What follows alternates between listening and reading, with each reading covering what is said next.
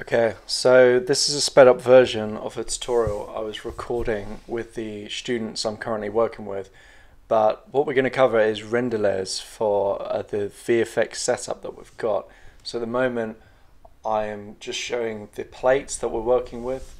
So we have some footage that was shot the previous year and we've created some CG elements and we want to separate these foreground, midground and background bits of CG to put them into comp.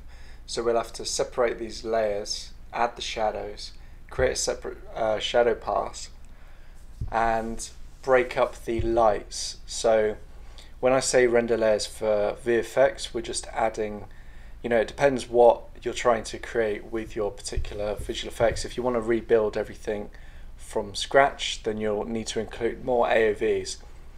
But in the video you can see at the moment, I'm showing that we have the diffuse is broken out into light groups so we can separate our diffuse um, you know HDR, fire, spotlight. We can also do the same for the specular um, HDR, fire and spotlight. So we have the three lights in our scene and then we've added a few AOVs. so I've just loaded up the render settings so you can see my AOVs and I I believe at that moment in time I'm just talking about how the master layer in everything is inherited from the master layer. So whatever default settings you have in your render settings, you know what AOVs you add, they will automatically be added to the next render layer you have along. Um, so in my AOVs, you can see I've got the Z depth, so that's for depth of field, crypto mat, that's for the different shaders, and crypto object, that's for different objects. Um, the motion vector pass that was added, I was just adding in a point about if you want motion vector, which is compositing motion blur, you need to go to your Arnold renderer tab. In the motion blur settings, you need to turn on instantaneous shutter. I believe that's the word. Um, so for this particular VFX assignment, we are adding the AOV of diffuse and specular, so then we can add in, so the specular um, AOV is basically the highlights. So if we render both of them and then we add light groups, so we go, as you can see what I'm doing now, going into the different lights and changing the, the area that says AOV light group. You change the name from default to something that's relevant, uh, such as Spotlight, you know, HDR. I called one of them Fire just because that's the purpose of it. And then once you've done that, you'll go into the Active AOV tab once you've added it, and on the on the right hand side in the attributes, you'll see once you've got an AOV selected, there's a tab that says all light groups. So you can turn that on if you want your different lights to, to be rendered separately for that pass.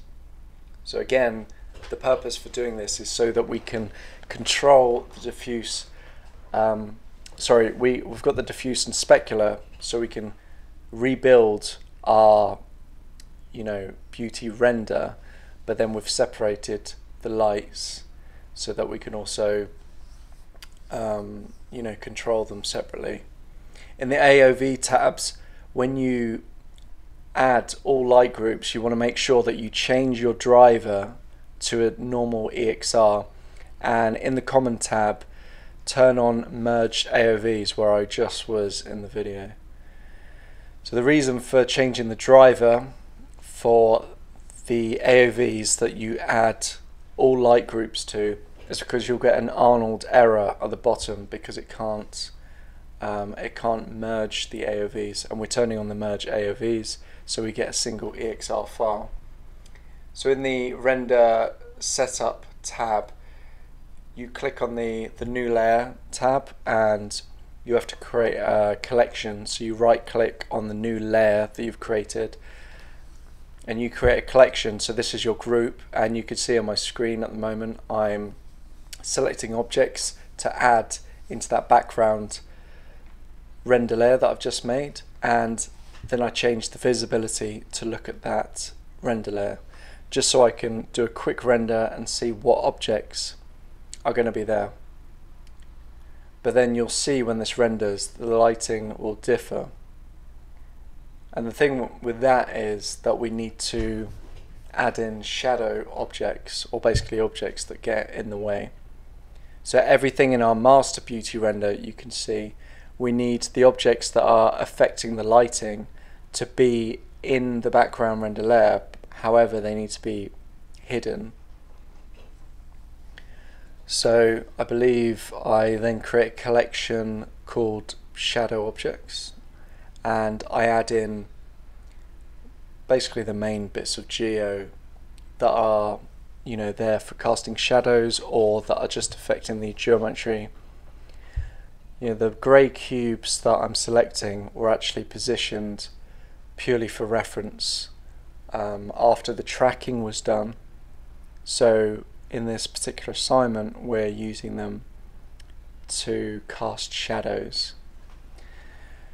You know, something to keep in mind when you render, um, when you, because what we're going to do is we're going to add these objects into a shadow objects collection, but they are going to um, affect the reflections as well. So that's something to keep in mind, because at the moment these shadow objects that we're adding you know they're useful for blocking the light but they will give off some slight reflections so you can see on my screen at the moment I'm going to just one of the objects and clicking uh, right clicking primary visibility and turning absolute override for primary visibility and when my collection was selected it applied it to that entire set of objects so I believe I'm about to do another render just to see the result.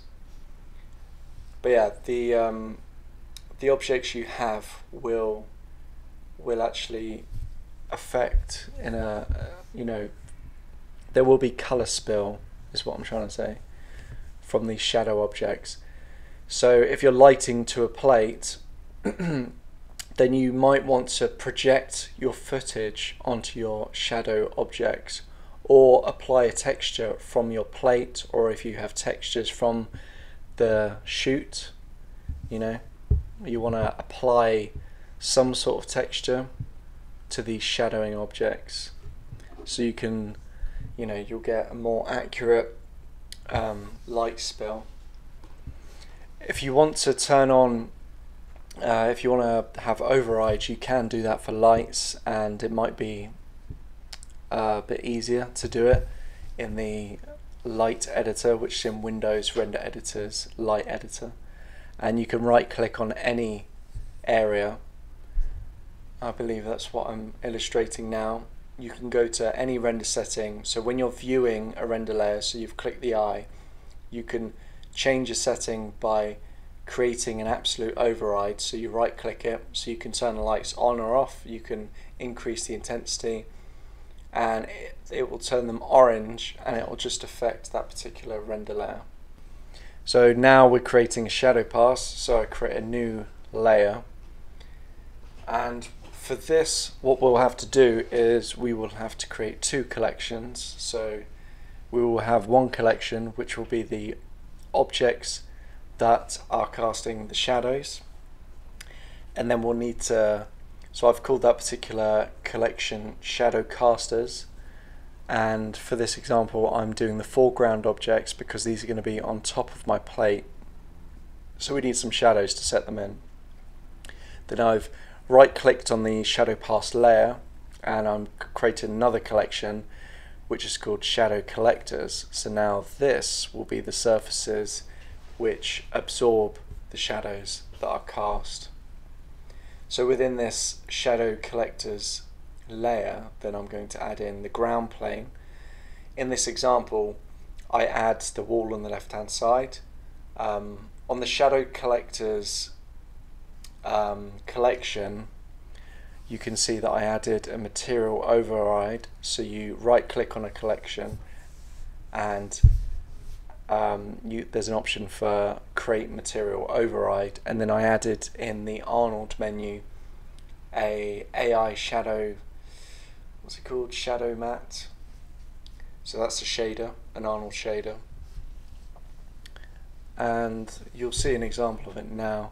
The only other thing I did was add, similarly to what I did in the um, background render layer, I added in primary visibility um, layer override for the shadow casters group and that was just to turn the foreground objects off so you could see in the render that was on screen.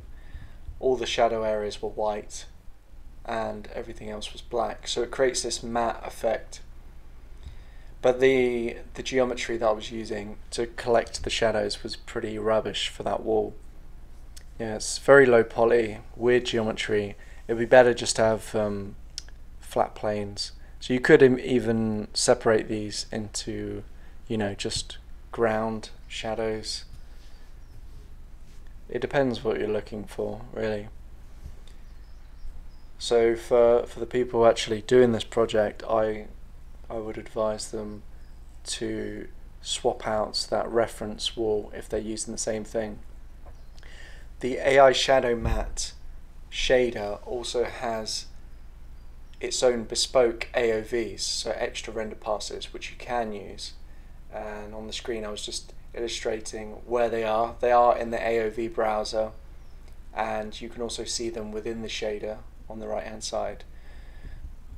However, after testing them, I would say that the shadow mask is pretty much the same as the shadow the standard shadow render that we made. I should note that the shadow pass you can only see in the alpha, so it's black and white. Um, so you could just shuffle that out when you're in Nuke or After Effects, whatever you're using. So this next render layer we're making is an ID. It's a very old school ID method. Uh, so we created new empty layer and we create a collection. So this first collection's just going to be an ID for just one single object. So I right clicked on the ID and created a material override and added a surface shader. Then in the out color of the surface shader, I selected a pure red. So in the color palette area, you get pure red. So now I would have that particular object, which was the, um, I don't know what the first object was, I think it was the back wall. So now that would be separated with a separate material. And then I've created a new collection with a new material override and now with a blue color. And as I changed to that ID render layer you can see we could uh, because it's using the legacy surface shader you can see it in the viewport. And you can see in the render how I now have these two areas separated. So when you take that ID into Nuke as you view it, you can press red um, RGB on your keyboard. So you have RGBA. So when you create an ID pass, not only will you be able to see an alpha of all the objects, but you'll be able to separate, you know, each of the objects based on color. So from that render setup, you know, with um, these are the renders that I got from pretty much doing the same thing. So in the, on the screen, I'm just talking about. I turned on in the render settings in the common tab merge AOVs. So on the far left hand side in that blue backdrop, I've got my beauty render and then I've got some of my AOVs. And then in this diffuse passes light separated tab, these are what came out in my uh, diffuse renders folder for that background layer I created and I'm using a layer contact sheet to view them but you can see I've got diffuse HDR and diffuse fire and then the diffuse just everything on its own. As I said before these have been rendered separately to control the lights but when we uh, merge over the specular onto a diffuse that creates the final result but after turning on all light groups we now have these um, it gave us uh, these separate diffuse and specular renders. And as I move over to this side of the comp I'm just explaining how to how I've connected up these diffuse and specular renders. So I can I can create the beauty because that's all we're trying to do. And I've added in some exposure nodes so it means I can control each separate light for the entire scene in a really simple way. So on the left hand side I've got my my specular specular passes. On the right hand side I've got the diffuse passes. So these are um, inside those renders I have to use a shuffle node to separate the lights. So what you can see here is I've shuffled out from the specular passes I'm shuffling out the fire.